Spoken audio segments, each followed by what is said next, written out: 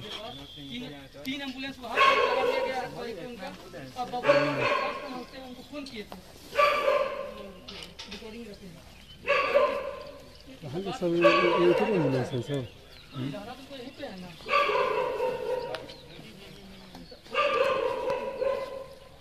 खोलो खोलो। यहाँ से बाईस हज़ार रुपया लेता वीडियो बनाइएगा तो हमको दे दीजिएगा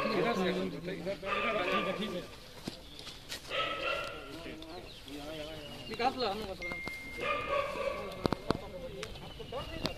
एक महीने हो गए। इन मृत लोकतंत्र की मृत और आत्मुग्धि सरकार लोकतंत्र को मार देने वाली। और ये नेता जो रावण कंस और यजीत से भी ऊपर और जल्लाद लोग बैठे हैं ये ये क्या? सारे एंबुलेंस को और निकाल दिया गया। और कोई विनोद सिंह मुखिया के यहाँ भेज दिया गया, एक चौबे जी है, उनके यहाँ भेज दिया गया। ये यहाँ तीस से ऊपर एंबुलेंस, और एंबुलेंस को निकाल दिया गया। साठ, सत्तर से ज़्यादा, सौ के लगभग एंबुलेंस। हम जानना चाहेंगे, संबित पात्रा जी से कि आपके भाजपा के नेता हैं, हमारे भी भाई हैं। मेरा सवाल वो नहीं है। हम रूढ़ी जी के बारे में नहीं जानता है कि ये घर, मैं, मुझे लगा किसी और का है रूढ़ी जी का घर नहीं है।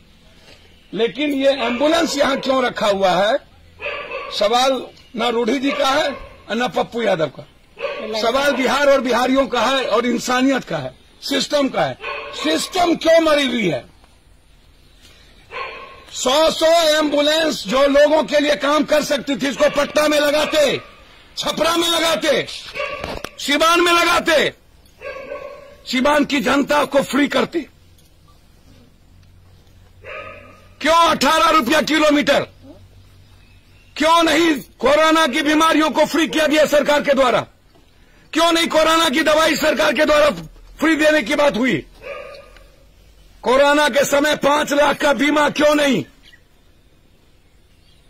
क्यों जब पूरा का पूरा देश और बिहार कोलैप्स हो गया? हर घर में लाश और कफन। फिर बहाली क्यों? मैं इंक्वायरी की मांग करता हूँ। और यहाँ के सिविल सर्जन पे अविलंब कार्रवाई होनी चाहिए। मुकदमे लगने चाहिए कि एंबुलेंस यहाँ क्यों? मैं जाँच का विषय मैं उठाता हूँ। सांसद द्वारा हर गाँव में नहीं समझ में आता कहाँ पर एंबुलेंस है। जब सात हज़ार, बारह हज़ार रूपया एक किलोमीटर का एंबुलेंस माफिया इंटायर क्रिमिनल और माफिया, ये सांसद के पैसे नहीं है सर, ये जनता का पैसा एमपी लैक्स जनता का पैसा होता है। सांसद का नहीं होता।